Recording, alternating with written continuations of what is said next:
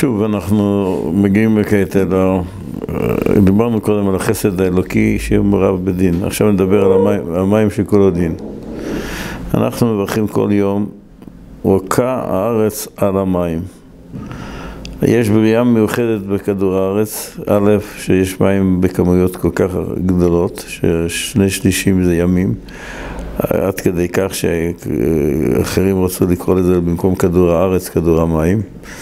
אבל הקדוש ברוך הוא גברה באמת את זה בעומק מיוחד שאין בכוכבי לכת אחרים. מה שאנחנו מכירים בכל הכוכבים, אין עומקים כאלה, כי כאן צריך היה לאסוף את המים למקום אחד. יקבעו המים ותראה היבשה. רוקה הארץ על המים. הקדוש ברוך הוא קיפל את קליפת כדור הארץ כדי שייווצרו יבשות מעל המים. לא רק שיש מים בהרבה מאוד, במאגרים של תחת האדמה, מאגרי מים או נפט, זה רק ארץ על המים, אפשר גם ככה לפרש את המילה רק ארץ על המים. אבל נדמה יותר שהדבר המיוחד הזה, כמו שדוקטור לוי, יהודה לוי, זיכרונו לברכה, כתב בספרו יהודה, יהדות ומדע, על הנושא הזה שזה, מי שמסתכל על קליפת הארץ, רואה יצירה מיוחדת שהקדוש ברוך הוא ברא לנו, שאנחנו נוכל להיות ביבשה. מצד אחד, עודף המים הגדול שיש, כי זה נותן לנו, כמו שהזכרנו כמה פעמים, את החמצן ואת המזון. הפלנקטון, זה יצורים זעירים מיקרוסקופיים, שהם בהמוניהם, הם יוצרים את המזון לדגים, והדגים אחר כך משמשים לדגים, אז יש שם שרשרת המזון, איך קוראים לזה? הדגים הקטנים אוכלים את הפלנקטון, הגדולים יותר אוכלים את הדגים הקטנים, ועד שאנחנו מקבלים דגים גדולים גם כן, בני אדם ניזונים מהם מהדגים. והכל מתחיל עם הפלנקטון, אבל מצד שני גם נותן לנו את החמצן, הם, הם עושים את תהליך פוטוסינתזה, כמו שהזכרנו, שהמים משמשים גם כן למזון שלנו על ידי אור השמש, והצמחים קולטים את אור השמש ועושים את, עם המים ואת האוויר שמולד דו תחמוצת הפחמן. וגם זו נקודה מאוד מעניינת, שהימים משמשים גם כאגר לתרמוז את הפחמן. אם יש יותר מדי, אז הם בולים את זה, וכשחסר הם פולטים את זה. ככה כותב הרב יהודה לוי בספר שלו גם על העניין הזה. זה גם דבר נפלא, שדו תחמוץ את הפחמן, וגם החום, הימים קולטים את החום ופולטים אותם במה שצריך. את החום, הם, הם, הם יוצרים את ה... את המזג האוויר המאפשר לחיים על פני כדור הארץ. הן מצד הימים, שגם משמשים לנו מאגר של דו תחמוצת הפחמן, וגם שמירת האקלים. לכן אנחנו מדברים כעת על ה... עכשיו אנחנו מדברים על העונש של המים. דיברנו קודם על החסד של המים שגם, שכולל בתוכו גם כן את הדין. חסד אלוקי הוא לא סתם חסד, חסד אלוקים זה צדקה ומשפט. עכשיו נדבר קצת על העונשים. אנחנו יודעים שמצרים נענשו מידה כנגד מידה. הם, בפרשת השבוע כתוב, כל הבן הילוד היאור תשליכו. השליכו ילדי ישראל למים, ליאור. לכן כשהם טבעו בים, בים סוף, אמר יתרו, אתה ידעתי כי בדבר אשר זד עליהם, מידה כנגד מידה, מים מים. אבל אם אנחנו אומרים שמידת החסד של הקדוש ברוך הוא הופכת להיות דין בשעה שאדם עושה רע, אז החסד הופך להיות דין, כי בחסד יש גם משפט.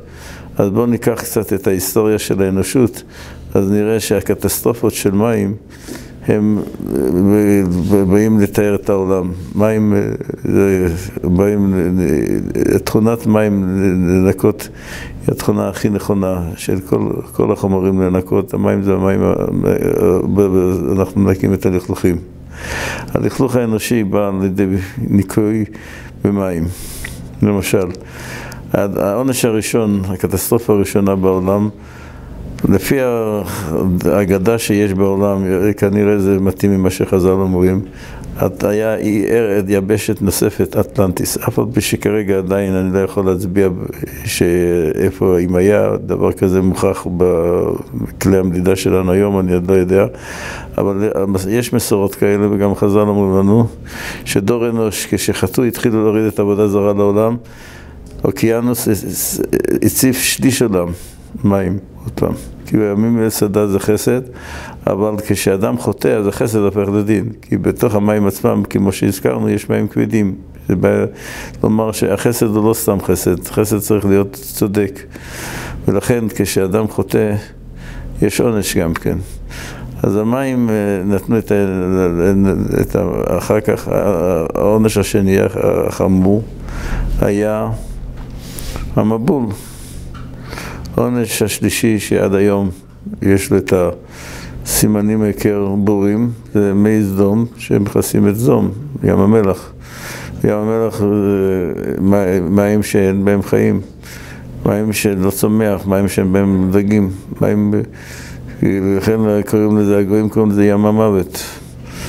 למה? זה בא ללמד, ללמד אותנו, אם עושים מעשה סדום, כדאי שאלה שתומכים ב... צעדות של תאבה בריש גלי, במקום להסתיר את זה ולהתבייש בזה, אז שיזכרו שסדום זה סמל. זה כבר בירסוס הקזדי, לפני אלפיים שנה ואולי יותר, היה היסטוריון בבלי שכותב על ים המלח, אומר ים המלח זה סימן אלוקי לחוטאים, ים המוות, מעשה סדום ומוות. ויש שני סימנים הקשת זה מבול, וים המלח זה פשוט שתי עדויות מה קורה כשאדם סוטה נגד הבריאה של הקדוש ברוך הוא. הקדוש ברוך הוא ברא את הבריאה למען פרו וכשאדם משתמש בדברים הפוכים, כשהקדוש ברוך הוא ברא את העולם, אז הוא הורס את העולם.